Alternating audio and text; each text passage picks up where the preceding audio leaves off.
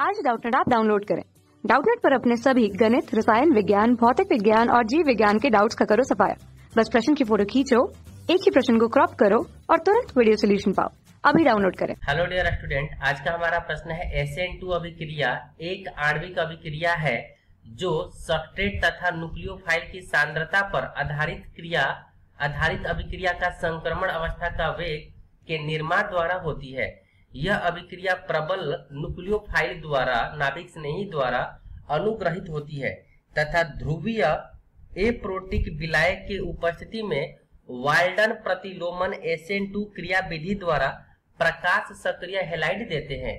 Beta carbon परमाणु पर विषम समूह, बीटा कार्बन असंतृप्तता तथा अल्फ़ा कार्बन परमाणु पर सी डबल बॉन्ड ओ समूह की उपस्थिति एसएन टू क्रिया विधि का समर्थन करती है। मतलब electron withdrawing group EW group आने से क्या होगा? उस अभिक्रिया का दर बढ़ जाता है। ठीक है? एलिल हेलाइड्स तथा बेंजिल हेलाइड्स एसएन वन तथा एसएन टू अभिक्रिया देते हैं। एलिल हेलाइड एसएन टू क्रिया विधि भी देता है बेंजिल हेलाइड्स में। ऑर्थो तथा पारा स्थितियों में EW EDG electron donating group SN one क्रिया विधि का समर्थन करता है, जबकि क्रिया विधि का समर्थन करता है, निम्न में से एसएन टू अभिक्रिया देगा। तो सबसे पहली बात, सब कुछ तुमको प्रश्न नहीं बता दिया गया है कि एसएन टू अभिक्रिया एसएन टू को क्या पूरा बोलते हैं? द्विआरविक नाभिक से नहीं, प्रतिस्थापन अभिक्रिया कहते हैं। और इसमें जो अभिक्रिया का दर होता है, वो किस पर निर्भर करता है? वो निर्भर करता है संक्रमण अवस्था पे। यानी कि वहाँ पर जो अल्काइल हेलाइड होगा तो वहाँ से क्या होगा? अभिक्रिया के न्यूक्लियोफाइल के सांद्रता पर आधारित अभिक्रिया का संक्रमण अवस्था का वेग के निर्माण द्वारा होती है। यानी कि ध्यान दीजिएगा, पोलर ए प्रोटिक विलाय की उपस्थिति में अभिक्रिया होता है। जिससे मान लीजिए हमारा एल्काइल हेलाइड है। जब नाभिक स्नेही से अभिक्रिया कराते हैं तो ये नाभिक स्नेही क्या करेगा? पीछे से जाके अटैक करेगा और एक पाँच पाँच बंद संक्रमण अवस्था का एक इंटरमीडिएट बनाता है। पाँच बंद का, जैसे ये वाला एक्स हो गया और पीछे से नाभिक से नहीं जाके अटैक करेगा। हमको पता है कि पाँच बंद ज़्यादा स्थायी नहीं होता है, इसमें से कोई एक बंद टूटेगा तो एक से हट करके ये नाभिक से नहीं जुड़ जाएगा और एक से यहाँ से बाहर निकल जाएगा। ये बंद बन जाएगा। और ये अभिक्रिया का दर देखा जाए तो अभिक्रिया का दर कौन सा कार्बन के लिए होगा? तो वन डिग्री कार्बन का सबसे ज़्यादा माना जाएगा, फिर टू डिग्री कार्बन का और फिर थ्री डिग्री कार्बन का। क्योंकि जिस पे कार्बन पे जितना ज़्यादा ग्रुप होगा ना, उसमें क्या होगा? त्रिविमीय बाधा उत्पन्न होगा। इस वजह से वन डिग्री कार्बन सबसे ज़्यादा अस्थायी माना जाएगा, फिर टू डिग्री और फिर थ्री डिग्री और कह रहा है कि जिस अभिक्रिया में अगर जी ग्रुप आ जाए E W G electron withdrawing group आ जाएगा तो अभिक्रिया का दर क्या होगा?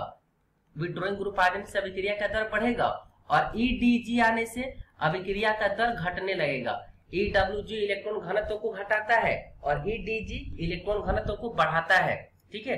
तो चलिए देखते हैं। C2H5Br C2H5Br जो है, ये SN2 अभिक्रिया में आएगा क्योंकि ये वन डिग्री ये वन डिग्री हेलाइड है। तो वन डिग्री हेलाइड क्या होगा? SN2 अभिक्रिया को देगा। यहाँ पे देखिए Br समूह जैसे ही हटेगा, ये ऑक्सीजन ऑक्सीजन कैसा होता है? प्लस एम ग्रुप होता है इलेक्ट्रॉन डोनेटिंग ग्रुप होता है तो ये एस एन टू अभिक्रिया को प्रदर्शित नहीं करेगा, इसके दर को कम कर देगा तो ये एस एन वन अभिक्रिया में भाग लेने लगेगा। ठीक है? ये देखिए कीटोनिक समूह आ जाने से अभिक्रिया का दर एस टू का समर्थन करते हैं प्रश्न में ही बोल दिया गया था, क्योंकि कीटोनिक समूह क्या होता है? EWG ग्रुप होता है। EWG ग्रुप होता है, जो SN2 की अभिक्रिया के दर को बढ़ा देगा।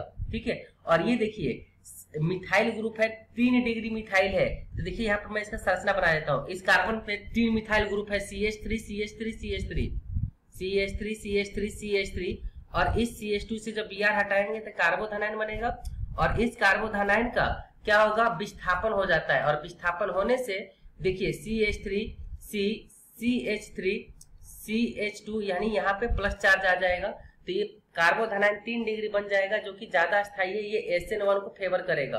तो एस एन वन हमसे नहीं पूछा गया है। हमसे क्या पूछा गया था? एस एन टू यहाँ पर मिस्टेक हो गया। ये एस एन वन होगा, क्योंकि ऑक्सीजन जो है ना, ये क्या होता है? प्लस एम होता है ईडीजी ग्रुप होता है ईडीजी ग्रुप होता है इलेक्ट्रॉन डोनेटिंग ग्रुप तो एस वन होगा। तो एस एन वाला अभिक्रिया नहीं होगा। हमसे पूछा गया एस एन टू के लिए। तो एस कौन कौन अभिक्रिया देगा? ए दे देगा, पहला वाला और तीसरा वाला। तो पहला, तीसरा कौन सा आंसर है? Option number B I hope आपको ये कंसेप्ट समझ में आया होगा। थैंक यू कक्षा छठी से बारहवीं से लेकर NEET I I T JEE वो एडवांस के लेवल तक। एक करोड़ से ज़्यादा छात्रों का भरोसा। आज ही डाउनलोड करें डाउट डाउटनेट डाप, या व्हाट्सअप करें अपने सारे डाउट्स आठ चार सौ चार सौ चार सौ पर।